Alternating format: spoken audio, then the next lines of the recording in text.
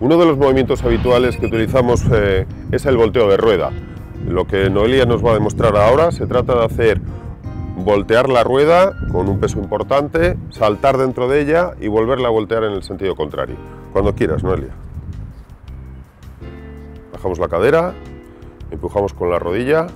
Es muy importante dominar la técnica para no hacernos daño. Giramos y lo hacemos en sentido contrario. Espalda arriba, ahí. Empuja con la rodilla y volvemos a saltar hacia el otro lado.